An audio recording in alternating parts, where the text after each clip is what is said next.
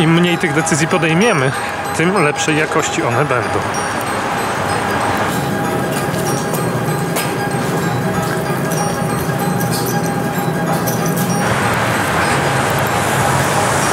Piękna pogoda dziś w Warszawie, po prostu miodzio.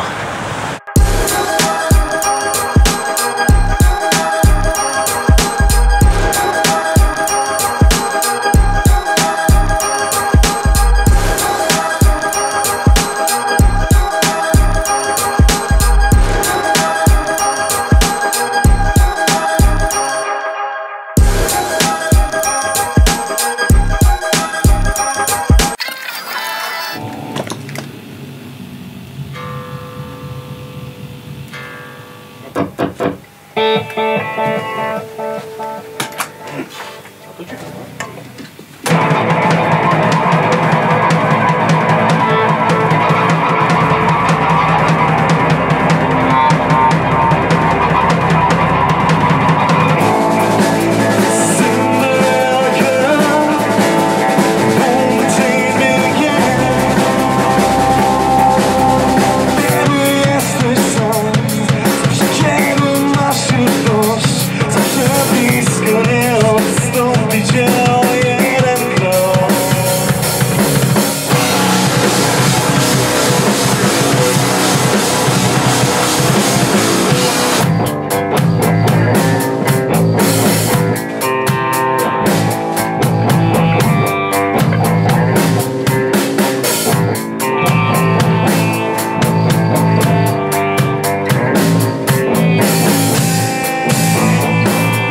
dobry Państwu.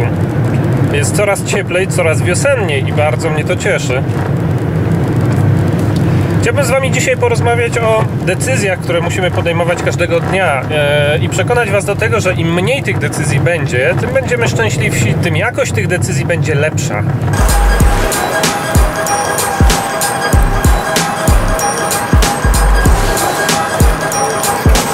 A dlaczego jakość tych decyzji będzie lepsza? Dlatego, że istnieje takie coś jak zmęczenie decyzyjne. I to polega na tym, że każdy z nas ma jakąś tam skończoną ilość energii potrzebnej na dokonanie wyboru każdego dnia. To jest skończona ilość, to znaczy, że ona się kiedyś skończy. Krążą takie pogłoski, że na przykład Barack Obama to ma tylko i wyłącznie granatowe i szare garnitury w szafie. I ja go rozumiem. Albo że niektórzy partnerzy zarządzający dużymi kancelariami prawnymi mają tylko i wyłącznie czerwone i granatowe krawaty w szafie, tak jak ja. I mają tylko białe koszule. I znowu tak jak ja.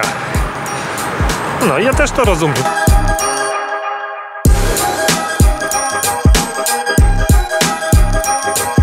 Z pomocą przychodzą dwie techniki, które ja osobiście stosuję i które bardzo pomagają. Po pierwsze, chodzi o to, żeby zaplanować sobie z samego rana te rzeczy i podjęcie tych decyzji, które są dla nas najważniejsze, czyli poprzedniego dnia wieczorem trzeba przed pójściem spać zajrzeć sobie na listę rzeczy do zrobienia dnia następnego i na samym szczycie tej listy ustawić tych kilka, dla mnie to są 3-4 maksymalnie, rzeczy, które ja danego dnia chcę zrobić i, i od których zacznę następny dzień.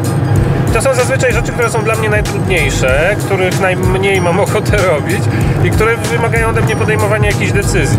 Bo w dzisiejszych czasach podejmowanie decyzji nie jest łatwe, bo zazwyczaj się je podejmuje bez pełnej informacji, na zasadzie trochę na czuja, e, w bardzo zmieniających się okolicznościach. Druga ważna technika jest taka, żeby w innych rejonach życia, ponieważ ten zasób energii na decyzję jest skończony i ten zasób nie wie, czy my podejmujemy decyzję związaną z naszą pracą, czy z naszą działalnością biznesową, czy może jest to decyzja związana, jaki kolor skarpetek założyć. Chodzi o to, żeby ograniczyć sobie podejmowanie tych decyzji takich mało istotnych, takich, które się podejmuje codziennie w sumie i które mają mały, mały, mało związku mają z tym z naszym rozwojem ogólnym. Od jakiegoś czasu dążę do tego, żeby w szafie mieć tylko i wyłącznie białe koszule. A jeśli chodzi o krawaty, to mam tylko i wyłącznie dwa typy krawatów.